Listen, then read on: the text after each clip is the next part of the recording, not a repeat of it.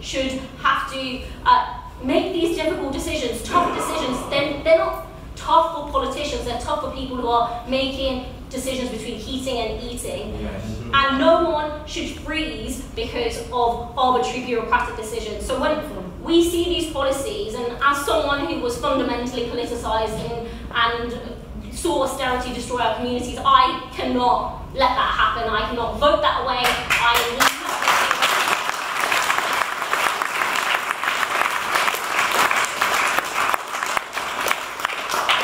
When racism in our communities, we must confront it head on. Silence is not an option, but we also know our, our fight for justice cannot stop at our borders. We must acknowledge the violence in Gaza, in the West Bank, and in Lebanon, where Palestinians and Lebanese people are suffering under occupation and aggression, where the death toll has already surpassed 118,000 in Gaza, over 2,000 in Lebanon, and we are complicit as long as we keep sending arms, uh, selling arms, and also providing diplomatic cover to a country that is on trial for breaching the Genocide Convention of the ICJ. It is unacceptable and should not be happening.